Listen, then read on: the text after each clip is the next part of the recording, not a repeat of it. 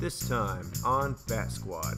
My project is about white nose syndrome, and it's really deadly. About like 600,000 to 900,000 bats die per year from wind farms.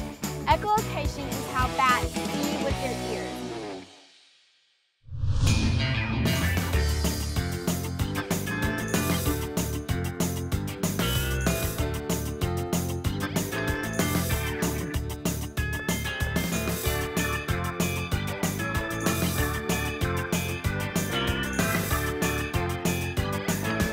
This is just amazing. Hey Bat friends, I'm Cami and I'm your Bat Squad host. Bats are really cool. They have the cutest little faces and they come in lots of different colors. I mean, some bats look like dogs and some, well, they just look a little strange. The sad thing is though, that bats are facing a lot of problems, like getting sick. Calvin, can you please tell us more about your science fair project on a disease that's affecting bats all across America? Hi, I'm Calvin, and I'm from Texas, and I'm 10 years old. My favorite bat is the Mexican freetail. Um, I did a lot of my research on it, and I learned a lot about it. My project is about white nose syndrome.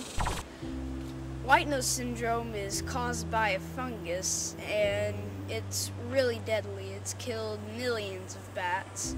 And what it does is um, it destroys the skin on the bat's wings and so they can't really fly well and they um, and it wakes them up in the wintertime and and it um, kills the bats because they starve to death it likes cold temperatures, so it likes cold bats. Um, on the inside, the bat's really warm, so they stay warm.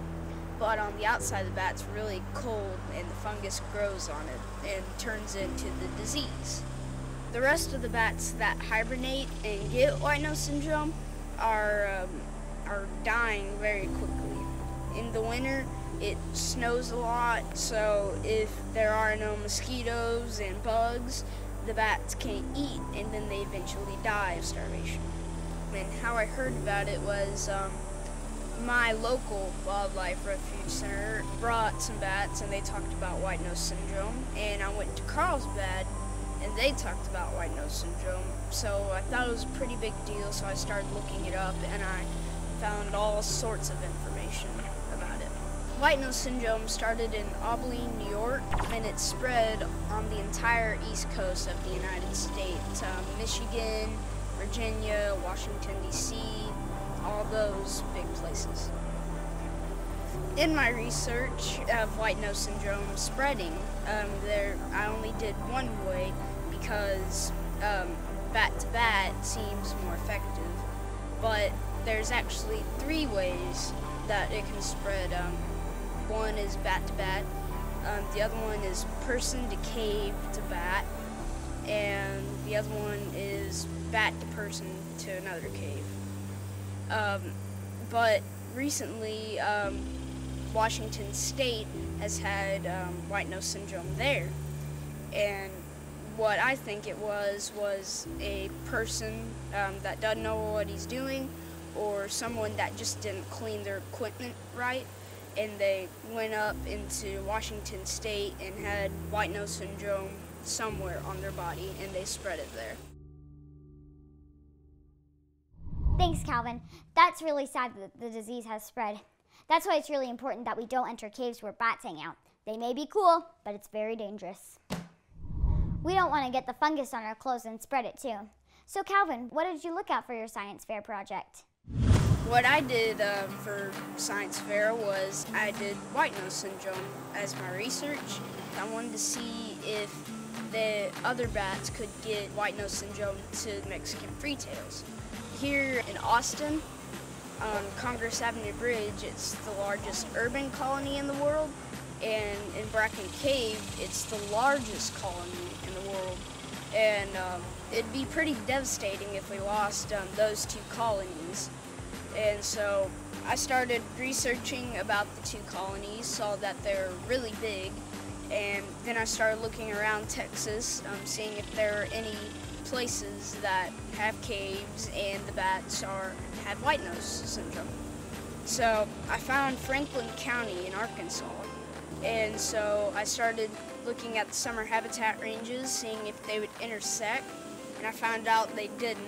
They're about 555 kilometers apart, and so we're safer now with the bats.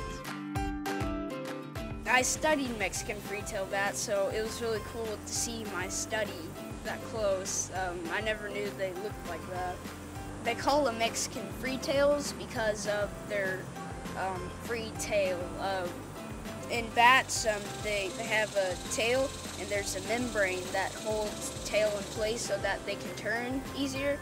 But um, Mexican free tails, they have a um, little bit of membrane, but the rest is tail. They look much like dogs, and um, they they act um, really close to dogs, and um, and they're really cute. That's a really interesting project, Calvin. Those bats were so cute. White nose syndrome is a real problem, but I'm glad that scientists and adults and other people are working hard to help our bats. So Cameron, can you tell us about another problem that bats might face? Hi, I'm Cameron Pettinger Willie. I'm 14 and I'm from Oregon. So wind farms are very important for our environment now because they're renewable energy and it's easy for our environment to use that and it's not bad for it. Um, but the problem is that it's also affecting bats and other creatures around because a lot of bats are dying from it. Turbines can be a great danger to bats because even though it looks like it's moving really slowly, the blades are actually moving very quickly and the bats can run into that and may not be able to detect how fast it's moving and that can hurt them and cause a danger to them.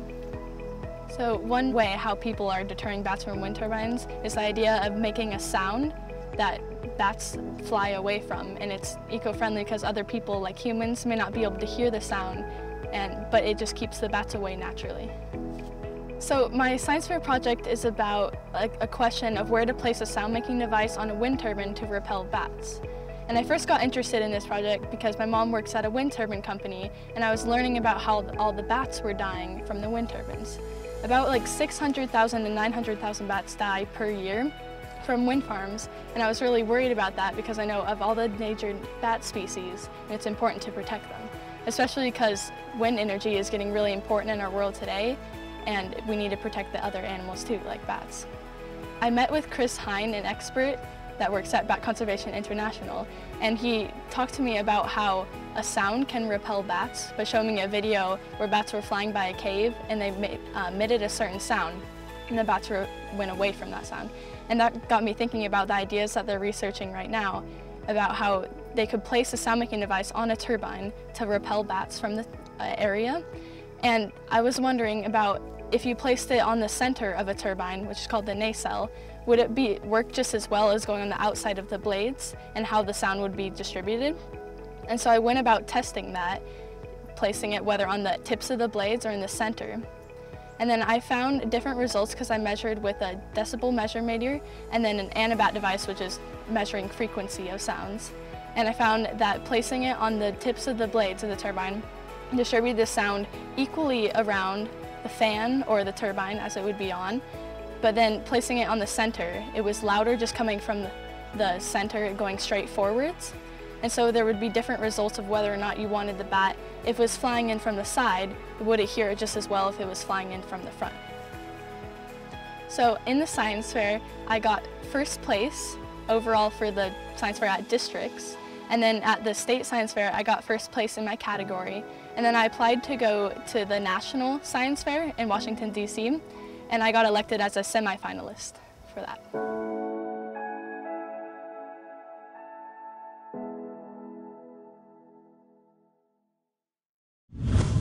That's so cool that we may be able to use sound to save bats.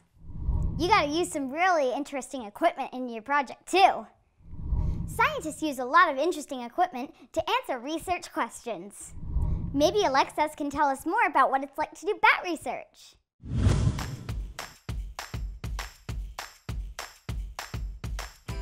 Everyone, my name is Alexis. I'm 14 and I live in Tennessee. I've been working with bats for seven summers now. I first got excited about bats when I was in third grade, and all of my projects have dealt with white nose syndrome and the effects of the population, just in different ways. Some I went netting, and some I used the detector uh, detecting echolocation. My favorite part of my research is actually going out into the field and either looking at the detector and seeing how much it jumped from seven days ago to now, and going out netting bats. I really love doing that. My most recent projects have been dealing with the acoustics or bat echolocations and the activity calls. Echolocation is how bats see with their ears. Not necessarily bats are blind, but they don't really use their eyesight in the darkness. What it is is a high frequency noise that we cannot hear. They use it to detect the size, shape, and texture of a tree or a moth to see if it's moving or it's standing still. They also detect if there's an object that is stationary or not moving so they don't run into it when they're flying. When they do detect something that's moving, they go for it and try to eat it.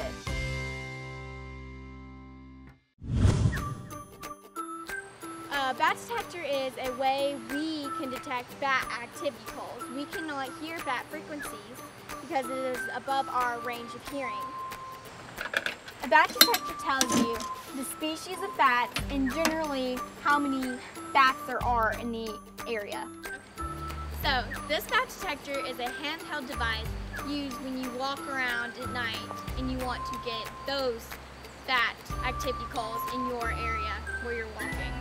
The one on the tree I have is one that you can have for weeks so you don't have to go around walking at night. It is up for months at a time, but I check on it every seven to 10 days. It does not give you instant feedback.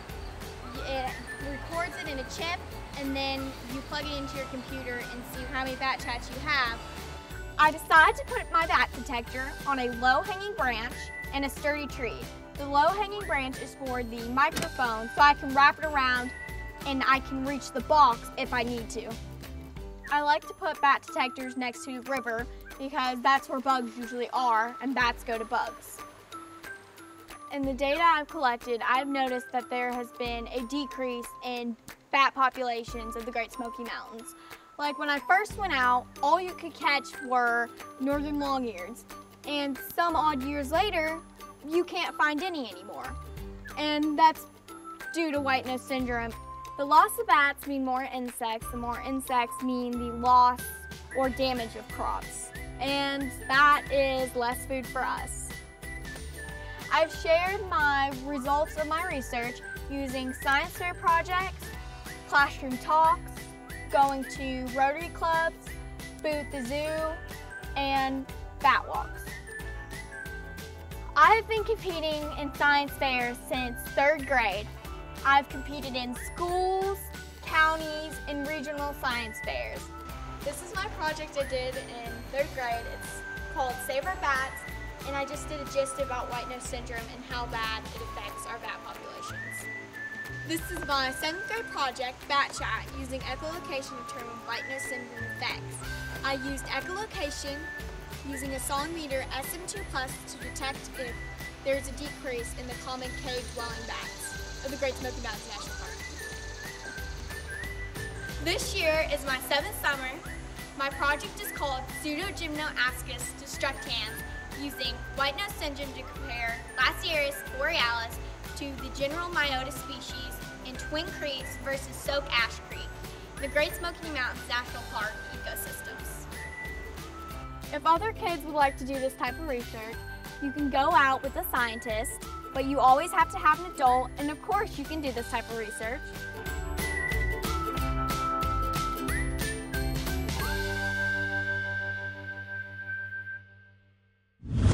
So cool to hear about all the science research that Calvin, Cameron, and Alexis are doing. Who knows what amazing discoveries they'll make as they continue their research. Even though bats face many threats, we can still do a lot of things to help protect them. And if you're really interested in saving the bats, then you might want to tell a friend or family member. They might be interested and want to help too. You can learn more about nose syndrome by completing the activity. There's a fungus among us. Mm,